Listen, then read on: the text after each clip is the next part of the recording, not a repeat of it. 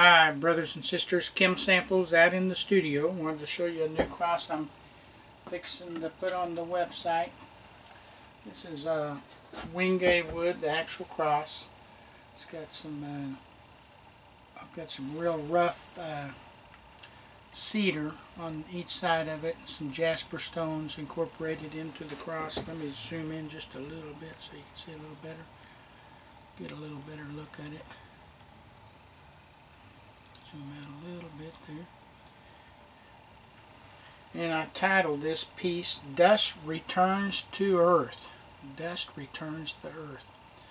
Kind of got that in mind with the roughness of the two side pieces and the wenge there. Remember, God loves you. Keep walking with Jesus. Have a blessed day.